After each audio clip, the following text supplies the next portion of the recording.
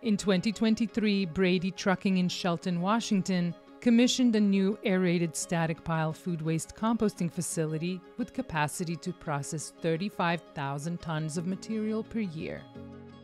The facility's design and technology package from Green Mountain Technologies enables food waste to be rapidly transformed into high value compost with complete control of all environmental factors and minimal material handling costs.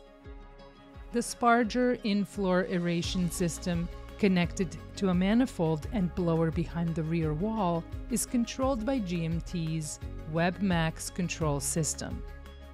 A bio cover is used to capture odors and retain moisture. After 30 days of aeration, the material is ready for a passive curing process before the finished compost product is screened and sold.